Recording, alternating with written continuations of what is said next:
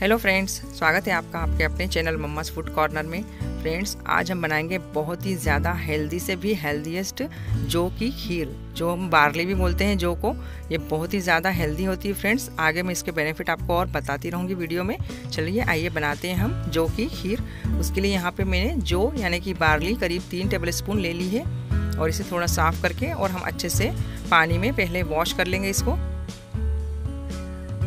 ये मैंने अच्छे से धो लिया है इसको।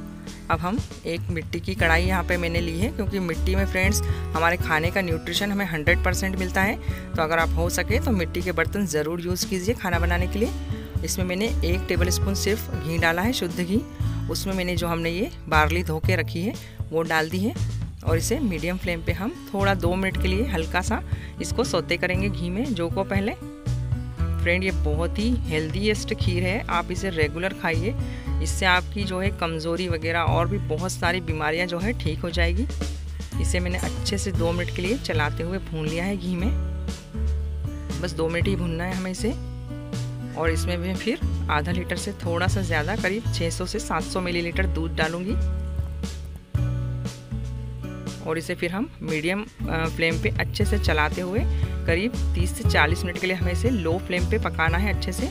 थोड़ा थोड़ा बीच बीच में हम चलाते रहेंगे और करीब 35 से 40 मिनट के लिए हमें बिल्कुल लो फ्लेम पे इसे अच्छे से पकाना है जिससे कि हमारी बार्ली जो है अच्छे से पक जाए, बिल्कुल सॉफ्ट हो जाए और हमारी जो दूध है ये भी हमारा बढ़िया गाढ़ा हो जाए, एकदम रबड़ी जैसा टेक्सचर हो जाएगा फ्रेंड्स इसका। ये अभी 10 मिनट हुए हैं हमारी खीर उबलते हुए।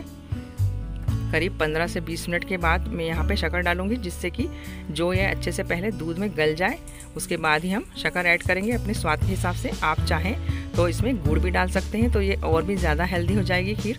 और आप चाहें तो पूरा पकने के बाद इसे सिर्फ़ शहद डाल के भी इसे और ज़्यादा हेल्दी बना सकते हैं। यहाँ पे मैंने सिर्फ़ दो टेबल स्पून शक्कर डाली है, और इसे हम अच्छे से और चलाते हुए करीब पकाएँगे 35 से 40 मिनट के लिए टोटल। और हमारी बढ़िया सी हेल्दीएस्ट खीर जो है, जो कि बिल्कुल रेडी है फ्रेंड ये बहुत ही टेस्टी भी लगती है। इसके हल्के से रेशे ज़रूर मुँह में आएँगे, जो के, लेकिन ये बहुत हेल्दी है फ्रेंड तो आप इसे ज़रूर ट्राई कीजिए। और इसमें मैं थोड़ा सा ड्राई फ्रूट डाल रही हूँ, आप अपने पसंद के हिसाब से ड्राई फ्रूट डाल सकते हैं। आप चाहें तो इसमें इलायची भी डाल सकते हैं। और फ्रेंड इसे आप ज़रूर ट्राई कीजिए। और अभी तक अगर आपने मेरे चैनल को सब्सक्राइब नहीं किया है तो प्लीज़ ज़रूर सब्सक्राइब कर लें। ऐसे ही बढ़िया बढ़िया हेल्दीएस्ट रेसिपी के लिए और अपने फ्रेंड्स से भी ज़रूर शेयर करें।